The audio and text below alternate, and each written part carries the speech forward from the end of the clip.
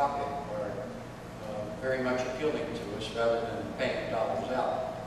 And our current PIT is 3.07% Pennsylvania. Uh, Corporate net income tax, I supported uh, many pieces of legislation over the seven years that I've served to reduce that, to uh, open up jobs and and the economic situation as far as industry, make it more advantageous to businesses to do business in Pennsylvania.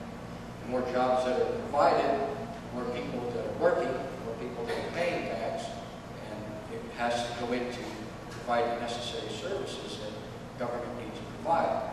So I guess with the word of caution, I say this to you, that if you have a demand as an individual for a multitude of government services, they come at a cost. I believe in the difference between fiscal conservatism and, and fiscal responsibility.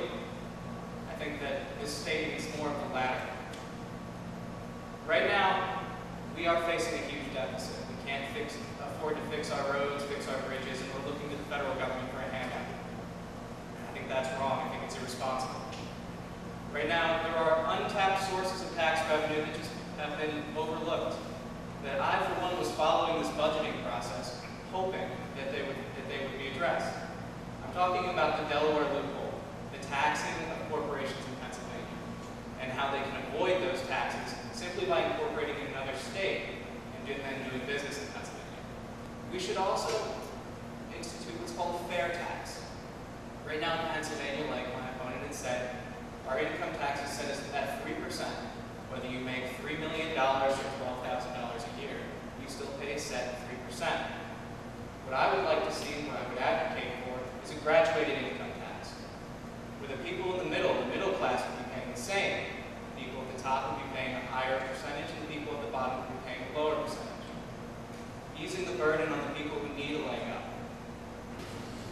I don't understand the philosophy of the business coming into our state and hiring our people and producing wealth uh, as being a bad thing.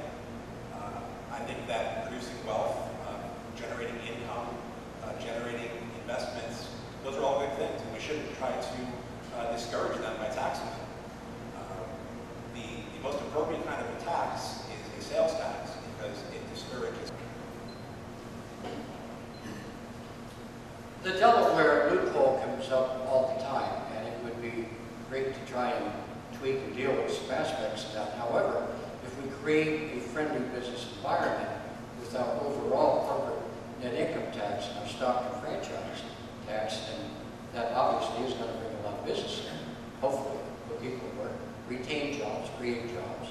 Everybody who's paying into the system, as far as working, we that the purpose of gun laws should be to protect individuals, specifically our men and women in, in uniform, our law enforcement officers.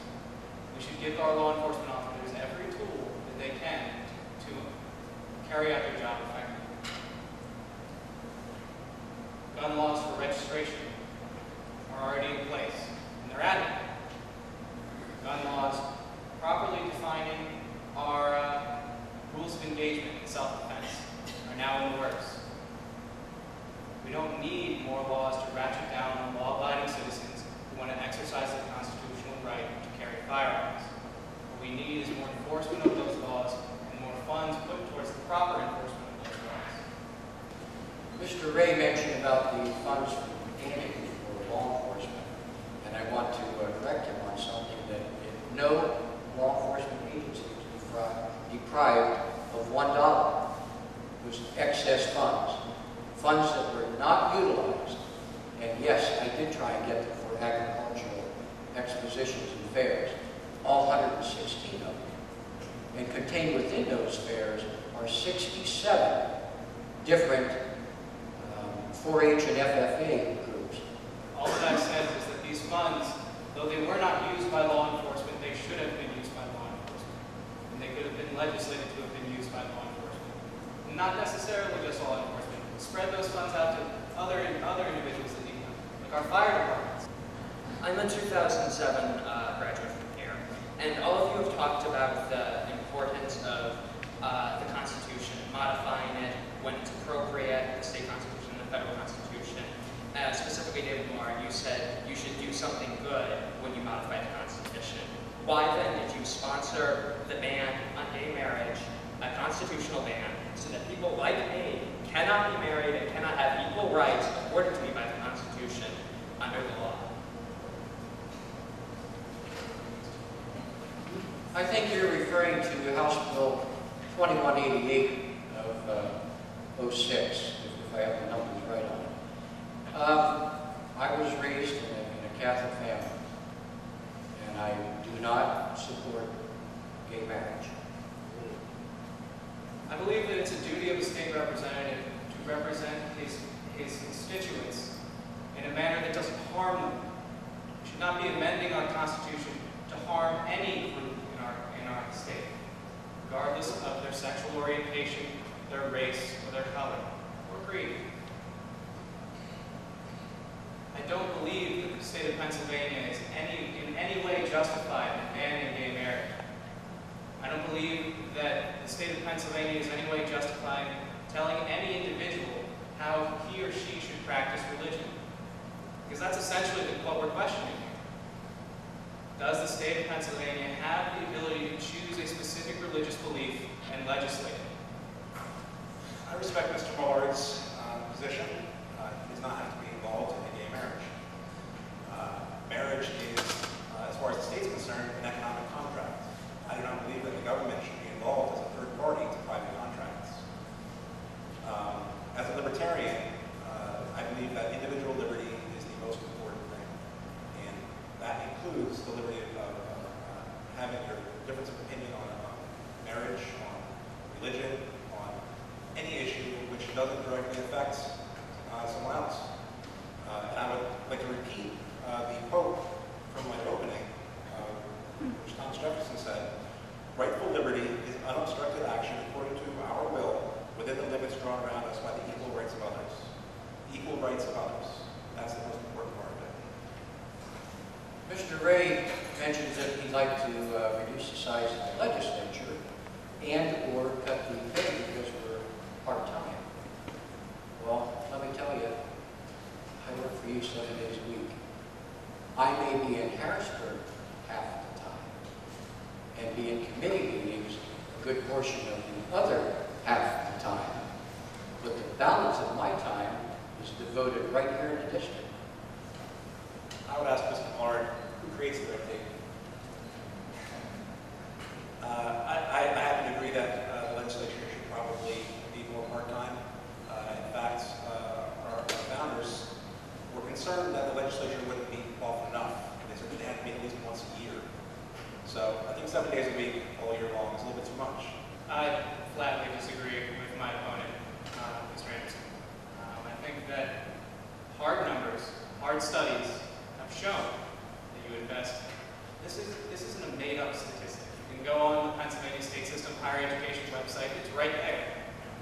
These are hard economic analysis, and they prove themselves. Now, my my idea to cut the state legislature wouldn't reduce your representation. There would still be an office in Bloomsburg, there would still be an office in Berwick. And while I do, I do commend Mr. Millard's dedication to constituent response. I say that every, 46 out of 50 states are operating on part-time, and they are operating quite effectively.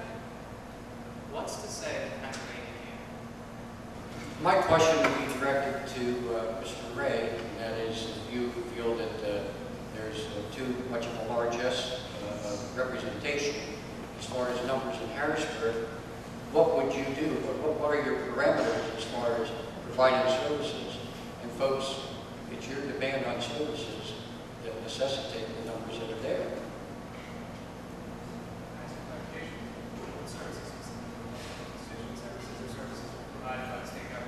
Uh, his question is whether it's constituent services or that provided by state government, either or. Uh, if you're reducing numbers, you're reducing both, a combination of both. Well, my response is, putting more money into the coffers of the state of Pennsylvania is never going to reduce the amount of services that it can provide. In fact, it will allow for more. Will allow for us to better fund our schools, our, our, our colleges, allow for our students to get a better education, allow for a, a child attending school in Berwick to have a, a brand new book instead of one that's older than he is. You can't argue for the state government having more money to properly fund the systems that it's responsible. As for the idea of cutting representatives' pay to a part-time pay and cutting constituent services, do not believe that it will cut constituent services. I believe that it will redefine the position of what it truly should be, which is a position of public service, service to you, service going above and beyond, and serving your interests in Harrisburg, not necessarily because you're being compensated at someone else being working 40 hours a week. I know families that work 40 hours a week that barely make $10,000 a year. There's no reason that a state representative should be asked, should ask to do as much work for more pay. Thank you. What I didn't vote for was the pay raise in the middle of the night. What I did do was to forego a pay raise, a- an increase year ago. What I do do is to drive my own vehicle, pay my own expenses, charge you no matter how many trips, back and forth, in a seven-day stretch, one direction to Harrisburg and one direction back. There are a lot of other perks that are available that I do not take. So when you're looking for a level of fairness, I represent that level of fairness. I didn't go to Harrisburg to fatten my wall. I went to Harrisburg to represent you first and foremost. And that I do. That I do every day. I would like to believe that Mr. Millard just misspoke, but I have a feeling that isn't the case. There's something that he would like you not to know. It was in the press enterprise recently. It upset a lot of people when it was in the press enterprise recently. He claims to pay his own expenses, but the, but the state legislature has a system of per diem. Per diem is per day, an allowance of expenses per day. The state legislature does not require that you put in receipts for your expenses.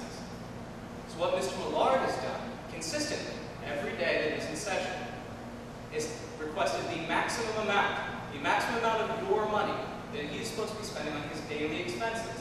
And he has invested it in real estate in Harrisburg, a house that him and several other representatives are buying in on.